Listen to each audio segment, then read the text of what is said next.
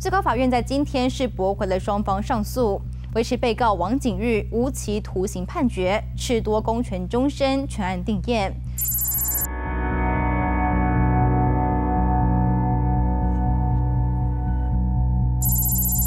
二零一六年三月二十八号，三岁女童小灯泡骑着滑步车和妈妈走在路上，罹患思觉失调症的王景玉忽然从后方窜出，推倒小灯泡，并拿出力道攻击。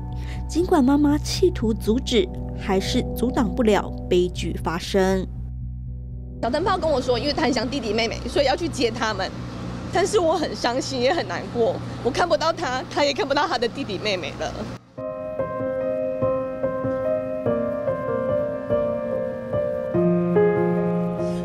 那个头都要砍掉了，你看怎么可怕了？那么可爱的小孩，你们想想看，那种场景多可怕！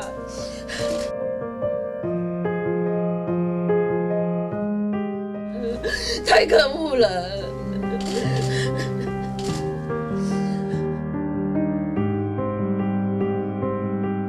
这一天受伤的不止受害家属。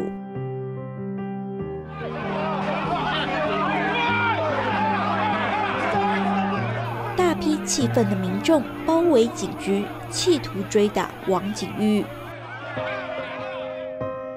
杀人偿命，唯死刑！杀人偿命，唯死刑！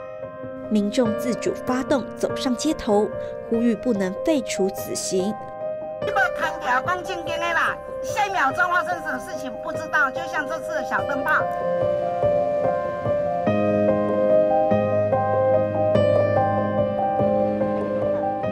也希望让家长们不要担心，让小孩子可以安全的成长，这是我们大家共同要做的事情，而政府要负担起最大的责任。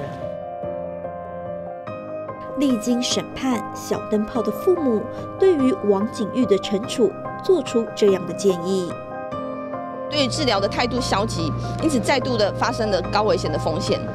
绝非被害家属所能够忍受的，所以我们请求法院给予执行的判决。不过，最高法院认为王景玉愿意吃药就能控制病情，因此判处他无期徒刑定验。小灯泡的父母对此深感遗憾，网络上更是骂声一片。审判的最后结果宣告，王景玉有一天可能重返社会。